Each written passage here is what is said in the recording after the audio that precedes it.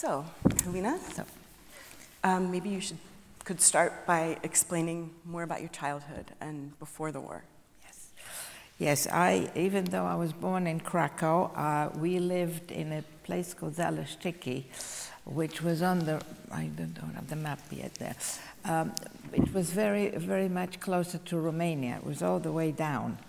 And um, we had a wonderful little town called Zaleszczyki, which was almost completely surrounded by water. And my mother was very happy about that because uh, she was a champion swimmer, so she could go water skiing and swimming and, and boating. And I had a little paddle, which, you know, I, I used with her. We, we used to go spend a lot of time on the beach because uh, the weather in Zaleszczyki was very hot in the summer, very cold in the winter. So in the winter, everything was frozen over. So my mother taught me to skate when I was five. She was into every sport imaginable. Uh, she also um, was a wonderful knitter, and the, the, the, clothes that we had, the hats, everything was knitted by her. Um, in addition to that, she knitted for my Shirley Temple doll. So we used to spend time with her. It was a wonderful time. Now, at six and a half uh, September, um, the war broke out we knew that the Russians were coming and were going to take over uh, that part of Poland. Uh, I was six and a half, so I, the political part I didn't know about, but I did know that uh, the other part of Poland was going to be overrun by the Germans, and that that meant that my grandparents, my aunt and uncles were all over there, and we were in the Russian part. Um, because the Russians were coming, the men were very worried because uh, in the previous First World War, the men were conscripted into the Russian army, which meant 20 years hard labor. Uh, they wouldn't, I mean, they wouldn't let them out, so they had to stay in the army. So the men particularly were very concerned, and uh, without much planning or thinking, a lot of them just decided to go over to Romania. We had a nice bridge going over there and Romania was not going to be uh, taken over, so my father went along with the, with the others. Uh, some people took uh, families with them, but my father was afraid to take us because I had a baby sister. She was just two months old. So we remained, and my father went over, and the Russians came, took over the whole part of that po Poland. They pilfered, they, they, they did bad things, but as I said, I was a child, so I, I wasn't told much. All I know that is we quietly, we just stayed at home. Um, and we, um, we awaited some news. We didn't know, know what was going to happen. We had no, no reason, we, we had no idea what was going on. Uh, but in the meantime, as it got colder and everything froze over, the people who ran away so quickly without thinking much or planning decided that maybe they should creep back on and come back because uh, they left families and businesses, and so they decided that they may be, do better to, to, to see if they quietly come back. And my father, with the others, would creep over the frozen river, and um, unfortunately, the Russians had sealed the border. And uh, they caught them all and they put them in prison and they uh, accused them of being spies and they put them on trial. And my father got 20 years hard labor in the Gulag. And he was uh, sent to Russia, to Siberia, a place called Arkhangelsk, which was a Gulag. And so we lost him again. And uh, we remained at home. Um, the German, the, the, the Russians, Russians, the Russians uh, had a law that if one person in the family was a criminal, my father, the dentist, quote unquote, he was he was a criminal because he was sentenced. Um, then the family had to be taken to Siberia as well. So we were all packed, ready to be picked up but for some reason they didn't take us. And uh, we wondered what was happening, but they, they said that we couldn't stay in a house. I mean, it was too much to have a house. So they threw us out, and they threw us out to a little town just up the road called uh, Tłuste. And uh, that's where we spent the, the rest of the Russian occupation, which was about a year and a half or so. My mother did manage, after one year, the, there was some communication with my father, so she knew where he was in Arkhangelsk, um, and they had a couple of communications. And then one afternoon, one evening, the, the, suddenly the, the Russians disappeared, and um, we uh, were told that they left and the Germans were coming. And uh, so we went back to our house, settled back in, and waited for the Germans to come and occupy us. And did you, can I, I'm sorry to interrupt. Yes. But when, when you heard that the Germans were coming, Yes. did, did you have, or did you, do you know that your mother had a- an impression of how that might be different? If that might be, did she think it might be better or worse, or? Well, all we knew is that, that we could go back to our home, Right. 'cause, you know, and, and we did not know anything at all about what, what the Germans were about. Okay, and so then-. Absolutely nothing. Okay. We, we just waited and, in fear and, and worried what, what the next occupiers will do. So how was that? Yeah, and uh, they arrived it with big fanfare, lots of noises, and uh, came on motorcycles, you know, black uniforms, gold buttons, and tall black boots, shiny. And I was standing there watching them come down the road, very frightening. Um, and as I said, nobody nobody knew what to expect. We were all ready to cooperate, just to to, to, to live in peace. Um, they started with the very strict rules, particularly for the Jews. Uh, first of all, no schools, no school for Jewish children. I was lucky, lucky because my father had taught me to read uh, before the war, because he wanted me to know how to read when I went to kindergarten. So I was supposed to be a, you know, a very clever girl. So I was supposed to read the newspaper. I, I don't remember any of it. My mother told me that it wasn't easy because I wasn't easy pupil, but I have no memory. All I know is that I've always, all my life, known how to read Polish to this day. Because So- of him and him making sure. Yes, yes, yes, yes. So, um, so she kept up my skills as best as she could, looking after my, my sister, and we waited to see what else. The other thing they had very strict rules was uh, curfew. Uh, we had a very strict ration, food ration, very little food, and the Jewish rations were much smaller than the others. Uh, we had uh, the, the, the yellow stars on the, on the houses and yellow stars on arms if we were out. And um, we were, uh, every Jewish person was supposed to, had to work for the Germans. So uh, everybody got the job. My mother, they had a list of the Jewish community there, and my, they knew my mother could knit very well, so they gave her the job of knitting for the mayor, who was obviously German. He had lots of children, so my mother was told she would be knitting for the mayor of the town's children and everybody cooperated.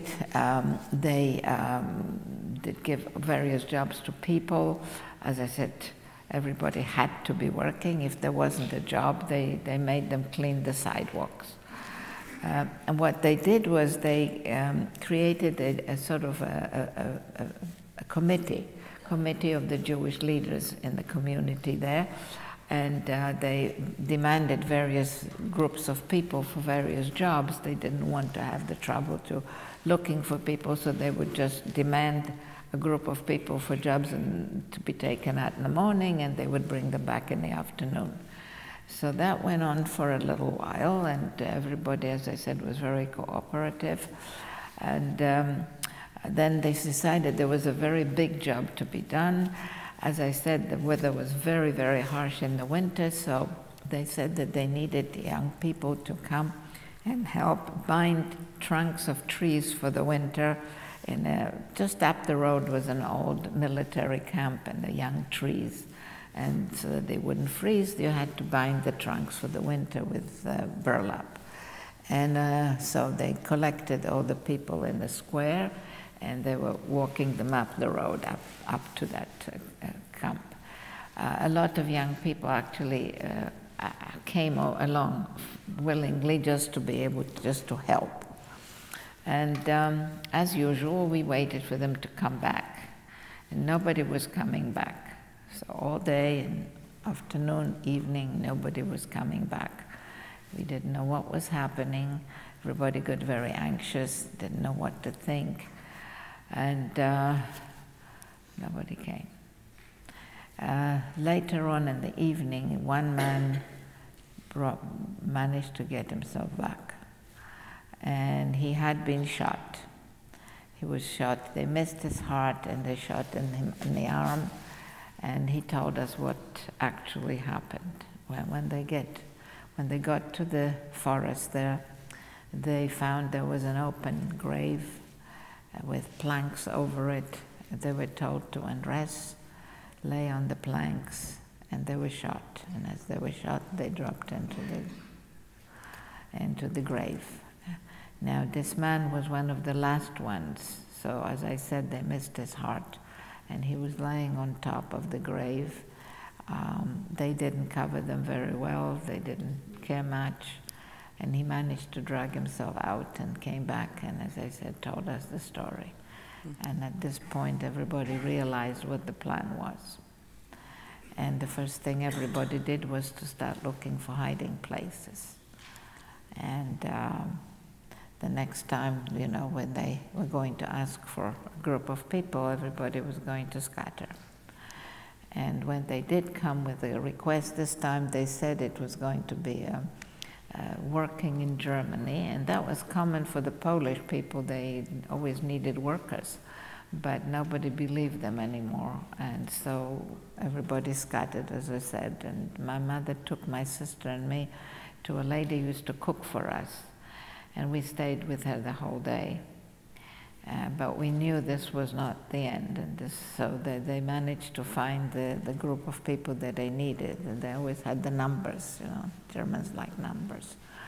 So they um, loaded them on the train and then took them away, and they were to be heard from again.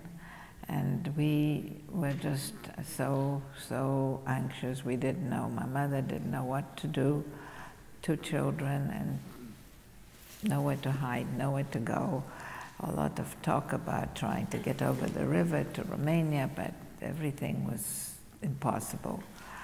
Um, and we worried that, you know, that they will continue that, but in the end, they were too clever. They, they decided that instead of trying to find us again, because the community was not that big, instead of looking for us, they just threw the rest of us out of the town altogether and they told us to go the same place that we were during the Russian occupation, Tłuste.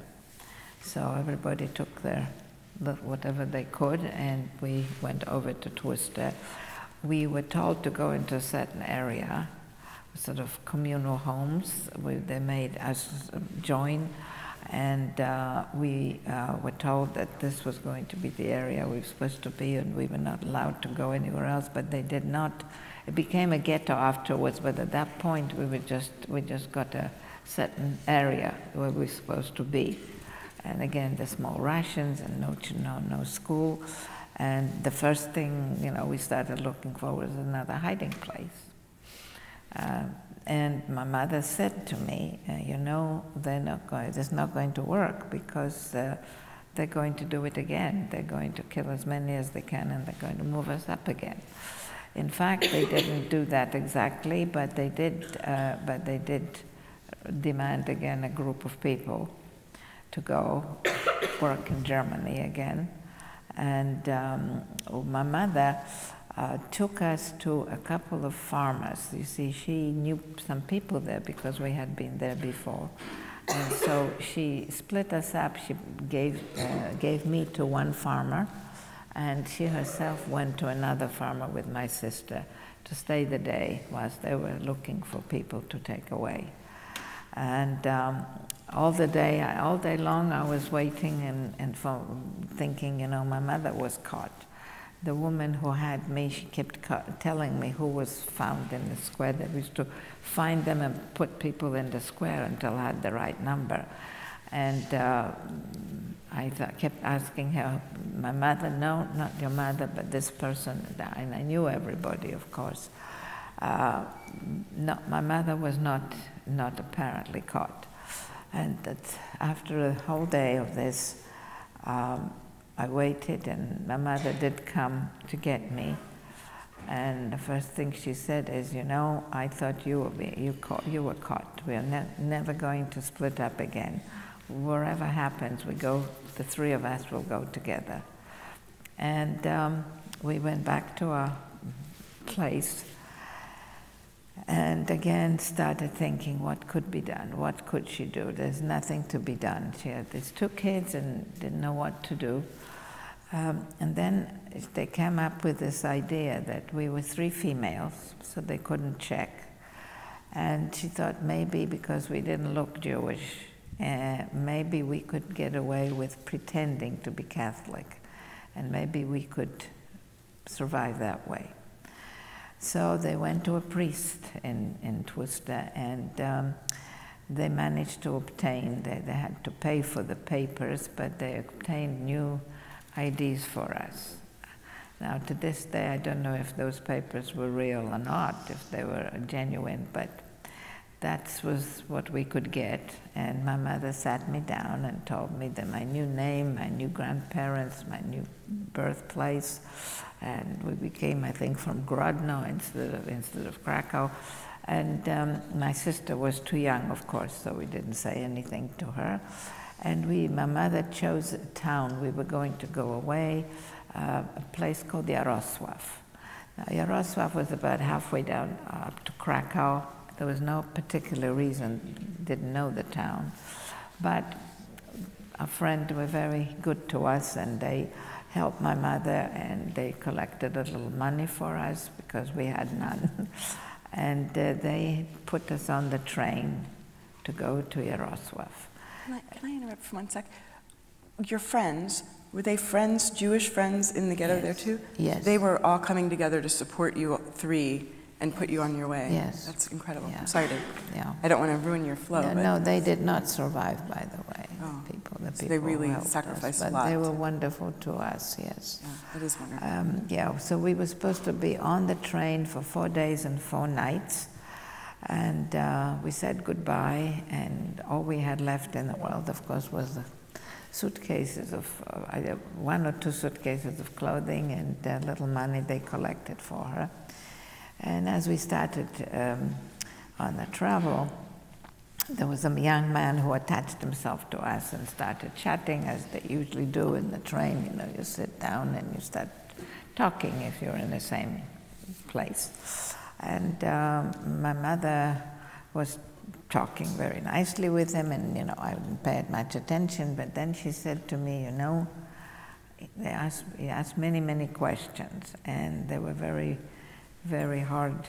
And they finally pushed me so hard that I could not, could not withstand it. And I admitted to him that we were actually Jewish, because they were asking, you know, maybe grandparent, maybe maybe some uncle or something. It was enough for the Germans, you know, if there was one member of the family who was Jewish. But it, you know, she just told them straight out that we were actually Jewish. So he said to her this. He said, "I'm going to Jarosław as well." So I am going to take care of you. I'm going to uh, watch you and travel with you to Jarosław. And when we get to Jarosław, I will have to, to uh, hand you over to the Gestapo. Now, my mother knew what that meant, particularly that the children would not be would not survive because the children would be killed and she might have been able to survive as a worker because they kept adults for work, but she did not want to survive.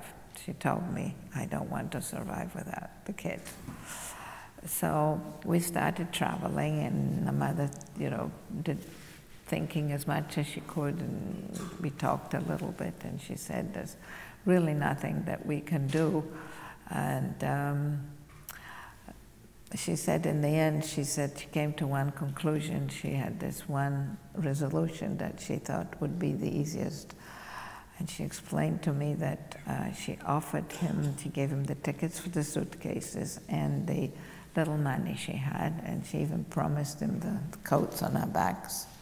And she said all she wanted him to do was to, when he gave us up to the Gestapo, to have us shot quickly, immediately. All three of you?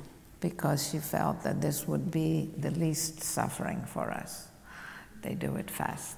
And she, as I said, she explained to me that, that there was no way, no, no way, nowhere to go and, and no way to escape.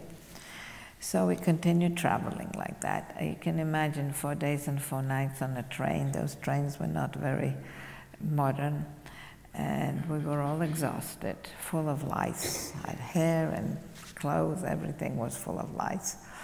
And um, we got very tired, and, and as I said, we weren't thinking very, at least I wasn't. And then when we finally arrived in Jarosław, as we were coming down to the platform, I suddenly woke up and I started pulling at my mother. And I said, Mom, I don't want to die.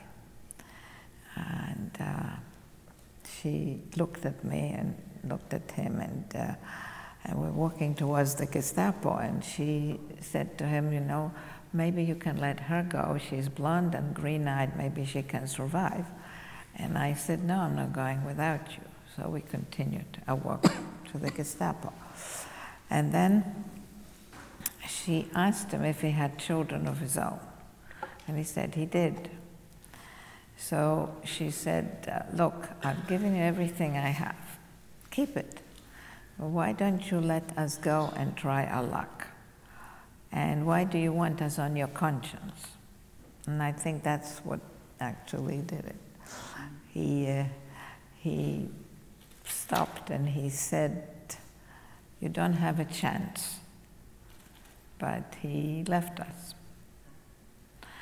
took everything and went. So he. But there we were, the three of us, homeless, and, you know. Right. What do you do? In, in the middle, yes, ask me what we did. Well, my mother was always thinking. So she looked around. It was a little street there, sort of the main street actually of that little town. And she saw a little cafe. So we walked into the cafe. She asked for a little milk for my sister. And she started asking people there if there was anybody who knew any, any place where we could find lodgings. It was very important not to be on the street because there were, there were German soldiers, you know, with guns drawn, walking around, and they would probably ask for the papers, but the papers we weren't sure about, so my mother was very anxious not to be outside, not to be on the Not street. take the risk. So uh, somebody in the place knew somebody. They said they will take us to to a place not too far away. There was a washerwoman who took lodgers. So, um, so he said he'd walk us over there, which he did. And we walked in, and there was this very nice lady, very, very sweet lady there. And um, she looked at us, and she, my mother, hurrying my, my, you know, carrying my sister and me by the hand, and she said, uh, okay, I'll, I'll, take you because my mother told her we had no money. She's going to go to work the next day and she'd bring whatever she earns to her for keeping us. And her big sons, she had two strapping sons, and they said, Don't take her, Mom, don't take her. And she said, Oh no, she said, This is a mother and two children. I have to take her.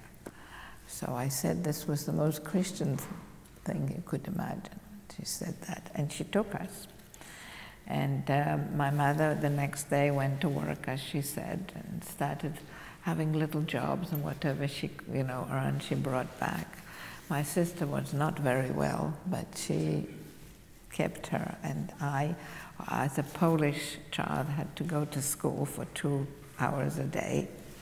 And I was very anxious about going to church because I didn't know anything about the Catholic religion didn't know anything about my own, but let alone the Catholic. So um, uh, all I knew was to cross myself going in and out of church. That's all That's I knew. important. Yeah. So I went to school, and the first thing I learned was that one hour was for religion and one hour was for general studies, whatever. You know, the children were not very, uh, not very educated. I, obviously, during the war, there wasn't much schooling at all. Um, but they, uh, I was glad that there was a religion class because, uh, I, as I said, I was hoping to learn a little bit something. And sure enough, they taught Catholic religion with the catechism. It was a little booklet, and you had questions and answers. And I got hold of that booklet, and I was able to read it up from top to bottom and side to side, and I got some idea, you know, about what what the religion is about. Excuse me. So I was feeling much better about it because we, you know, we had to be every Sunday we went to church, and uh, my the lady who looked after was very keen on me saving my soul, which I gave her all the credit for. She sent me for classes to be. sorry, just. Sure, take a sip your father teaching you to read at such a young age really paid off. It was really helpful for you. Absolutely. so, um, just losing my voice. It's not good. So I learned as much as I could from that, and I went to communion. There's one picture there is I'm going to communion. And my mother went from work to job to job finding various things. She was very worried about security. Still not good. I'm very worried about the security, and particularly she was worried about my sister. Not only that she was not well, but she had very curly hair. And the Polish girls at that time, there were very little, there were very few mixtures there. It was all Polish, you know, and Ukrainian, or blonde. So they all had blonde, straight blonde hair. Mine was blonde and wavy, so they braided it, but hers was just like a afro.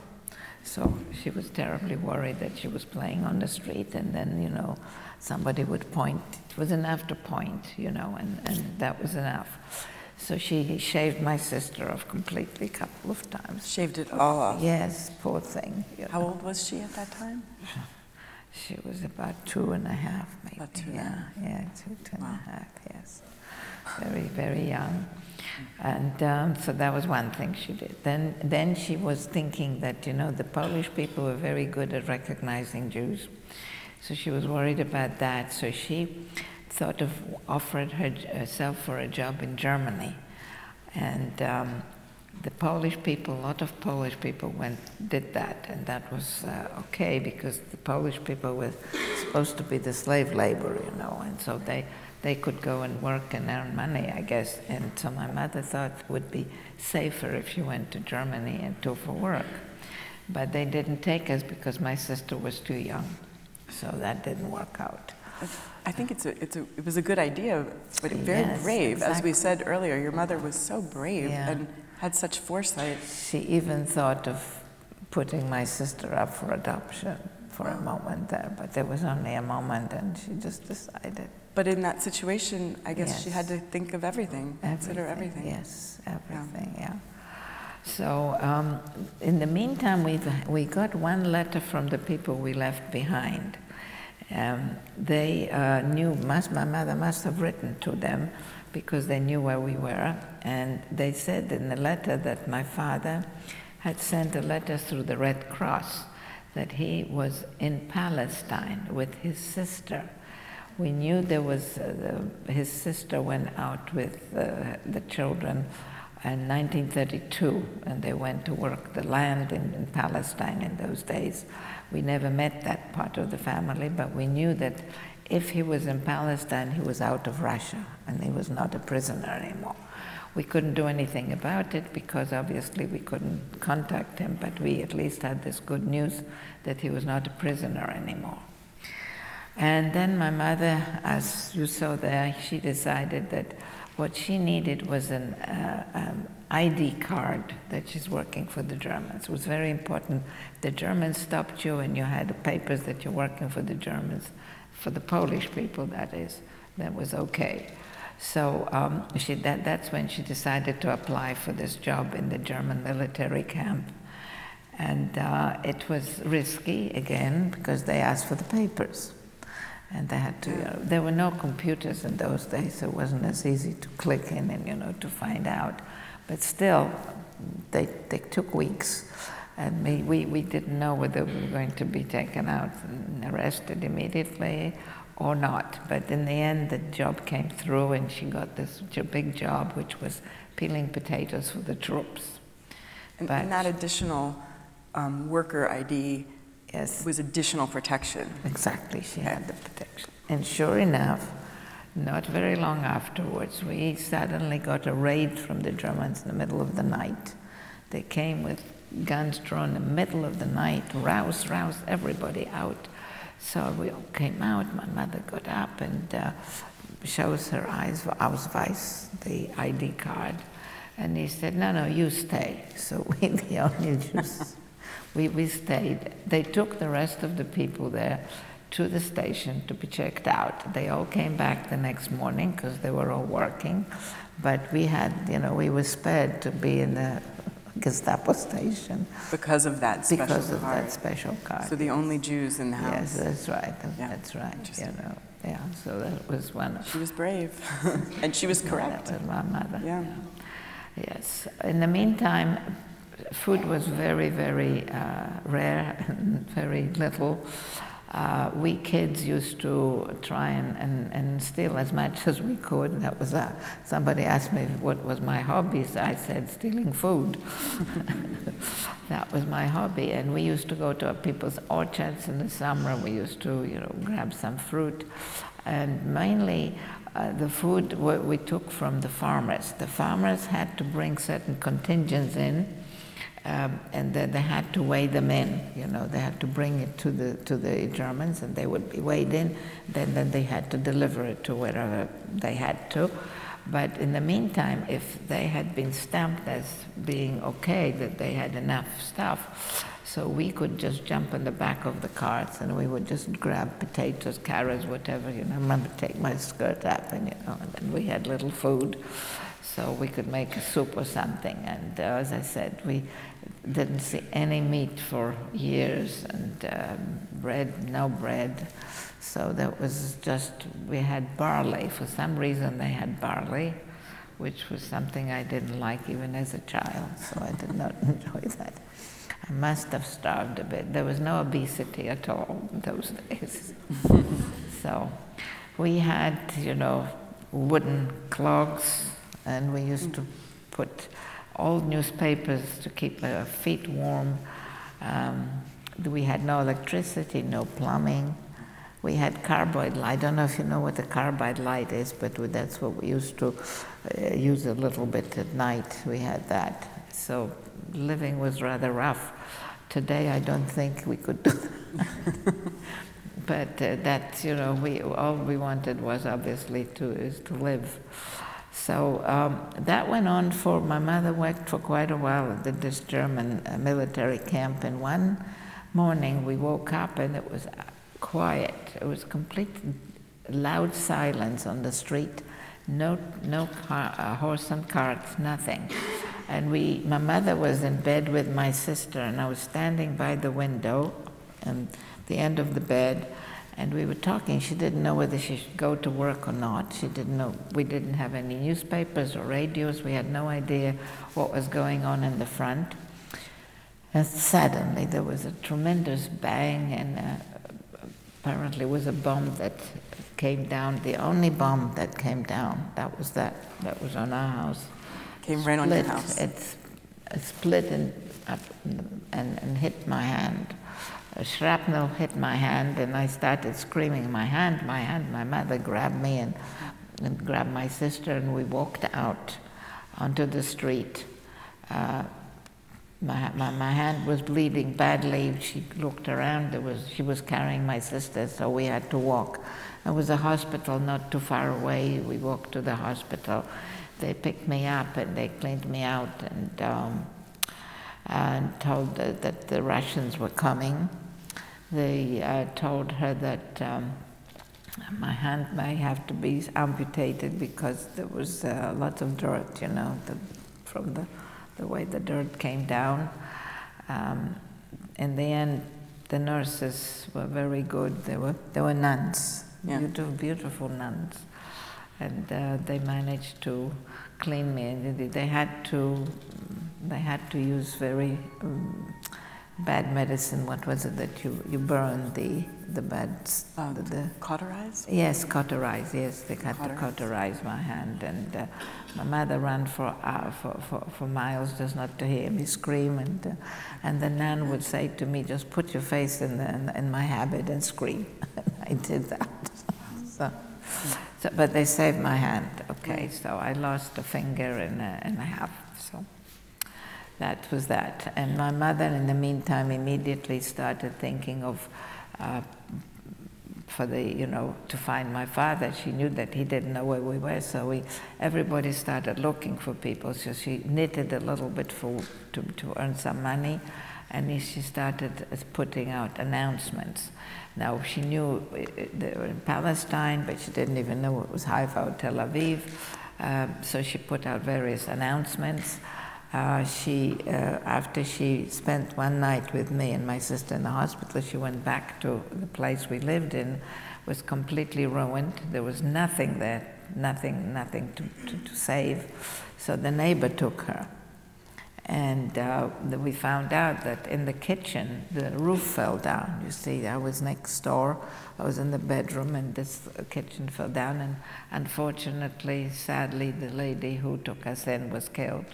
She was under the under under the under the deck. So, so my, that's so. My mother went back and forth to the hospital to me, and uh, in the meantime, the doctor diagnosed her with um, cancer, breast cancer. So There still, while you were in the hospital, she was diagnosed? yes, yes, Oh, yeah, yeah. that? Everything at Um, once. and uh, so they, they suggested she has the operation because they didn't want us to be orphans. So she did that. And so my mother did. And uh, the lady next door took care of my sister in the meantime. I, I wanted to say my real name in the hospital, but my mother said that I couldn't because there was a pogrom and the few Jewish people that came out of hiding were killed by the Poles. Now I know not all the Poles are bad and I know there were ones that helped, but still that was, that was a fact. So I had to keep my, I had to keep pretending to be under false names until we got to Krakow. But that's, uh, that's like, how are we doing for time? A little bit more time? Okay, so um, m- my father was found, and my father sent my cousin from uh, Palestine because he was in the British Army, had the uniform, so uh, times were so mixed. You, the Russians were coming, and uh, everything was a bit of a mess, and people could move around. So he came, and he was had no problem, you know, crossing the borders or anything. And he came, and uh, he he put us in touch with the Jewish agency in Krakow, and so we had to make our way to Krakow.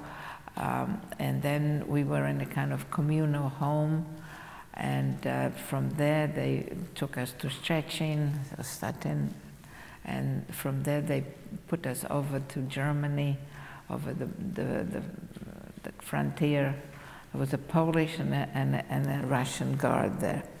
And um, the Polish guard was fine we, to give him vodka, and you know, and, and was fine. But the Russian guard was not satisfied, so he insisted on, on a chasy. He wanted or a watch. So nobody moved until my mother moved. My mother gave her watch, so then they, uh, some other people there, because the Russians used to have a jacket and used to have full of watches here. That's they, they love they love watches. So once we were over the border into Germany, we had to make our way to Berlin, and we had to buy tickets. And you wouldn't believe it, but the Germans refused to sell us tickets because we were Jews. That was yes, yes. I, I mean, by then we were under the auspices of the Jewish agency, so I don't know how they bought them anyway. But that's just never forgot that. Bef- Before you go any further from Germany, Yes. um, I recall part of what you explained about when you were talking about anti-Semitism and lingering anti-Semitism and these fears, that your sister's reaction to learning she was Jewish was Oh yes, that's that was another Peculiar, thing. Yes, yeah. when she saw my cousin, she said to him, "Ari, you're a nice man, but you're Jewish." so, so he said, "Well, yes, but so are you." And she said, "No." She said, "Look at me. Do I have horns? Do I have a tail?" Because that's the way she understood the Jews looked like. So because of growing up as a little girl and yes, she had, posing she as a was Polish very girl. she was not happy. Oh, it took her a while. It took a while.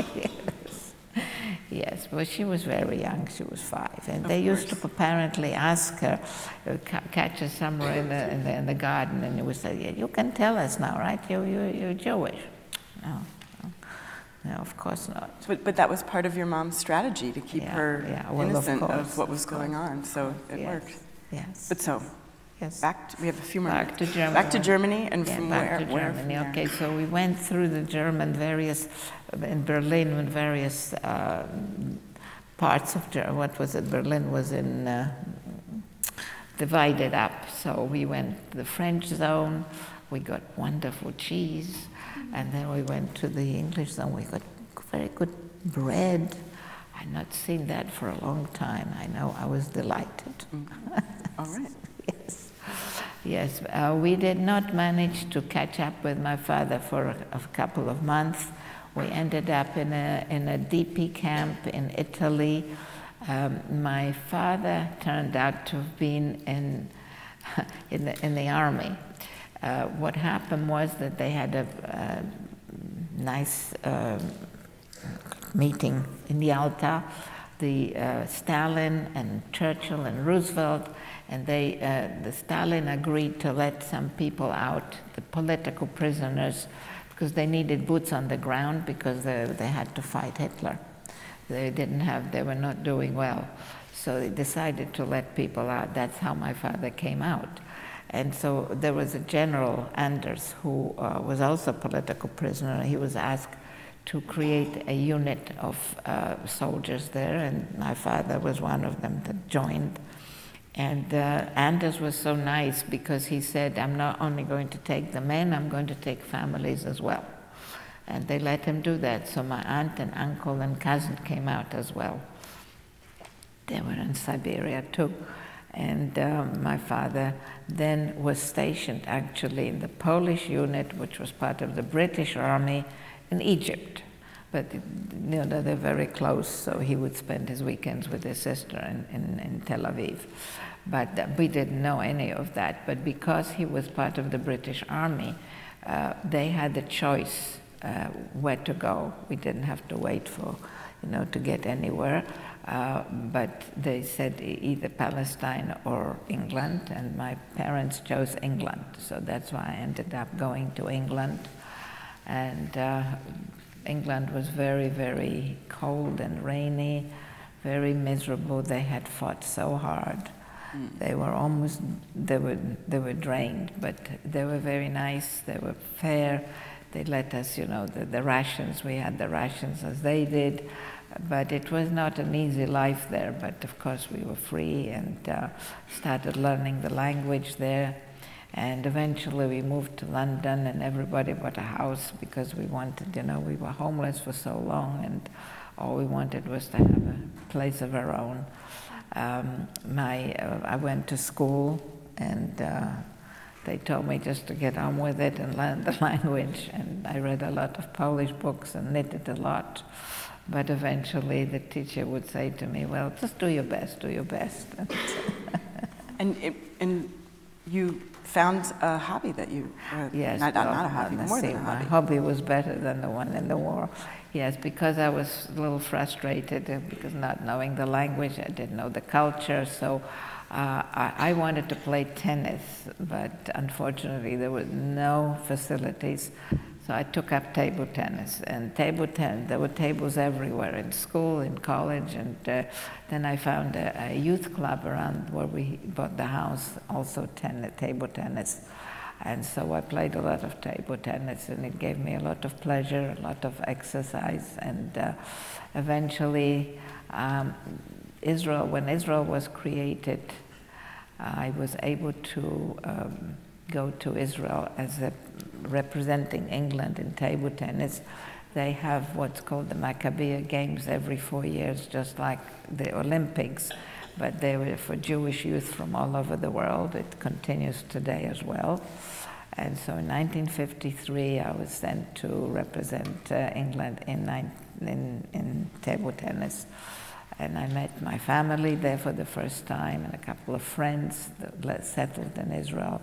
And it was the most wonderful trip that I can remember. And uh, I had to go back home because my mother was not well, so I went back. I promised myself that I will go back again. And um, my mother, unfortunately, got cancer again and passed away in 1956. And in 1957 was another Maccabiah, so I went again. And uh, this time I said I'd stay a year if, if I could find a job in English. And uh, because it was under the British mandate, it wasn't difficult. So I stayed there and uh, I decided to bring my sister over, and she came to a kibbutz for a year. Uh, she met her future husband there, and he was English, so that's why she's in London now.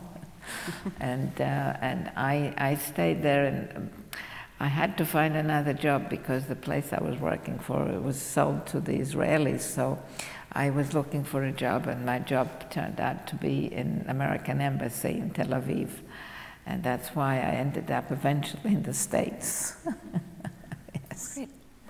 Well, thank you so much, Halina. We have time for a few questions from our audience. Yes, absolutely. And after we do questions, please remain seated and listening because Halina will close the program with a few last words.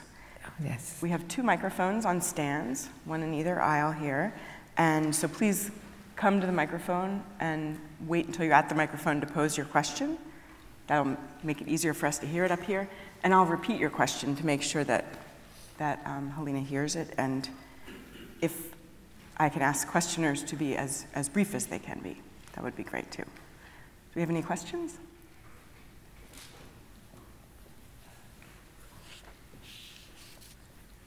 Hello. Thank Hi. you for your story, Halina. Um, I was struck when you said that you didn't, that you knew the Russians were going to come and get you.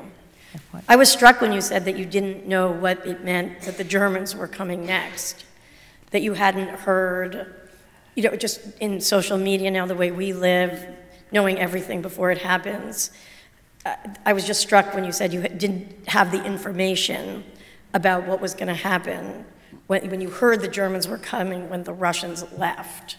Yeah. And was there, did you, were there, so were there any newspaper publications about what was going on in other areas, or was it just um, propaganda? Does that make sense? So, so our question is about um, the fact that you said that when you knew the Germans were coming, you didn't quite know what that would mean. And so, what, what kind of information did you have, or do you know that you're? I was about that So high. she, she was only six years old. And but- all I knew was what my what I told my mother told me. You know what was going on. They didn't know anything. There were no papers, no radios. That was that was a no-no. So we didn't know anything. We had no idea what they were. You know, there were the, what the plans were. Nothing. We just wanted to cooperate and, and and live in peace. That's all we wanted. Wow. Well, thank you again for your story. Yeah. Thanks for your question. Thank you. Over here, Yeah. please. Hello. Thank you for being here. Um, my question to you is during your travels, other than the time when you had injury to your hand, were you consistently subjected to bombings along the way? So she, she's wondering about um, bombings. Was the bomb that, that fell on your house the only bombing you experienced, or were there other times? No, that's about it. That That's the about it. only bomb because we were living in an area where, you know, it was a small town, and I guess the bombings were in big towns. Okay. So we And I- did not. We had an anti-artillery uh, in the hospital. They, they, were, they, had, they were always shooting up there, but but uh, we didn't have any other bombs. That was the only bomb that fell on that town at that time. But it was a small town, and, and, and the Germans disappeared. So there was not that much to fight about, I expect. I, I don't know. Right. Very difficult to know what happened there. And I have another question too. Oh, go ahead. Uh, Is it, brie- is it a quick one? Okay, yeah. Um, you, you said a couple of times that uh, the Germans knew how to, to, what to look for to find the Jews, and the Pol- Polish what to look for to find the Jews. What were they looking for? So, so she, actually, what Halina said is, is her mom believed that the Poles really knew what to look for to find a Jew. from Yes. Appearance, Right. and that the Germans less so. But what does that mean? What were they looking for? What might they notice that would indicate that you were Jewish? I, I honestly don't know. I tell you, my sister, who was five years old, told my, my, uh, my cousin that she, he was Jewish. I mean, how she knew, I don't know. The Polish people are very good at recognizing Jews. We had some characteristics, I guess. Oh, uh, okay, but you don't know what It's, that it's, was. it's confusing. Yeah, okay. It's- Yeah. Thank you. Thank for- you very much. And, and I think one last question? I would like, thank you for your beautiful story. Um, I would like to know if you've ever written a memoir or autobiography that we could purchase. Have you written a memoir or biography to purchase? Have I what? Have you written a memoir or your autobiography? No, I have not. I read. I, I, I'm in the in the class here that they have. It's um, echoes of memory, and I write small small pieces. Um, I just don't feel able. It's too painful, um, particularly because of my mother, and uh, it would just be too sad. Uh, Thank you. You're welcome. Thank you for your questions. I'm going to turn back to Halina in a moment to close our program. I'd like to thank all of you for being here today. As I mentioned, our first person programs take place every Wednesday and Thursday until the middle of August. We hope that you can come back. It's our tradition at First Person that our first person has the last word. But before we turn back to Halina, I want to let you know two things. First, for those who didn't get to ask a question to Halina during the, the normal program period, she'll remain on stage after the program so that you could come down and ask her then, or maybe take a photograph. The second thing, and this is important, our photographer Joel is here with us in the front row. He's going to come up on stage after Halina finishes her closing remarks. And Joel will take a photo of Halina with all of you in the background. It makes for a really great photo, but we have to ask that you stay in your seats.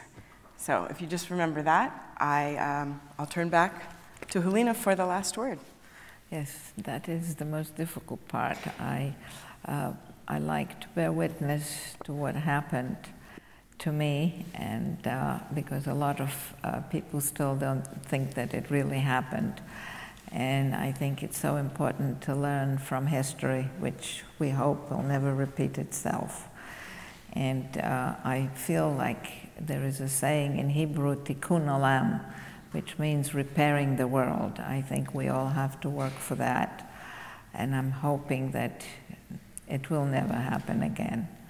But as I said, it takes hard work and cooperation, and uh, we should all help each other and do the best we can for each other. And I think that it's the only way the, the, wor- the world will become better. And thank you so much for listening. Thank you.